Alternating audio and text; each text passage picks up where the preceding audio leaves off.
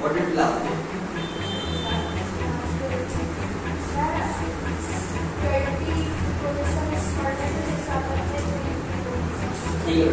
We have got the three types of positions. The types of positions we found the 20 groups of positions in, any position system. Okay.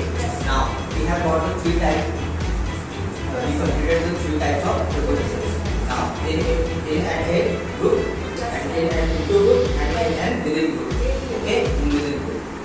these are, are uh, saying in Hindi language main okay?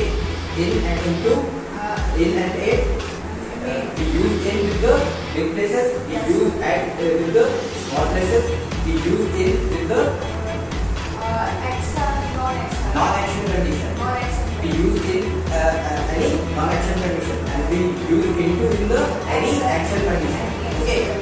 Now uh, as it is in and within group we use uh, in with the fixed time and within with the flexible time okay मैं कमरे में हूँ I am in the room मैं कमरे में आ रहा हूँ I am coming in the room into the room I am coming into the room okay now बेटा